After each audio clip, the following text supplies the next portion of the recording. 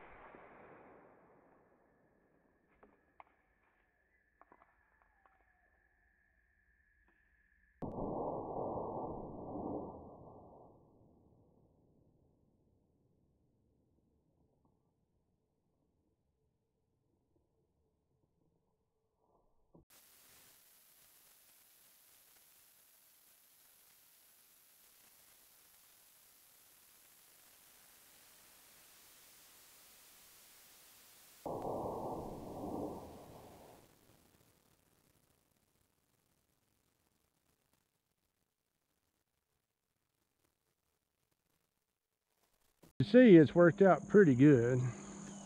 I did have one bullet rip out the side of it here, but then I shot the next one that went on around, and um, we we busted some cans.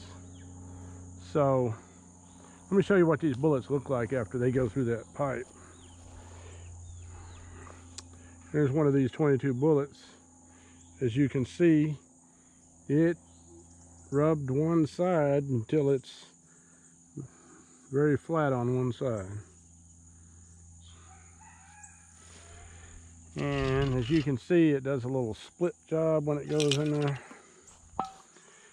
And this here is at least one in there. Probably can't get it to come out, but got it trying to come out. Oh, there we got it. Now this one here is more round.